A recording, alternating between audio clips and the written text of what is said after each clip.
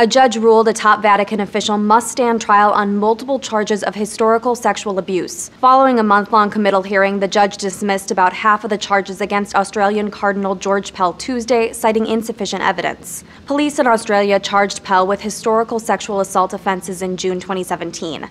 Officials have not publicly released any further details about those charges. Pell, who's denied the allegations, serves as the Vatican's treasurer and reports directly to Pope Francis. Pell took a leave of absence from the Vatican last last year and is currently in Australia. He entered a not guilty plea Tuesday.